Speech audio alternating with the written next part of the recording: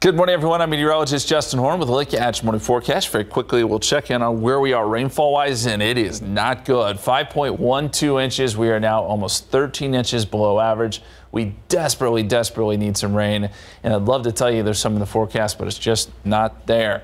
High temperatures today back in the triple digits 103. The heat index will be as high as 106, maybe even 107 in some cases. So that gets into that dangerous territory. You got to be careful today and really throughout the rest of the week. 104 Wednesday, 103 Thursday, 101 Friday. Hot this weekend, too, and going into next week.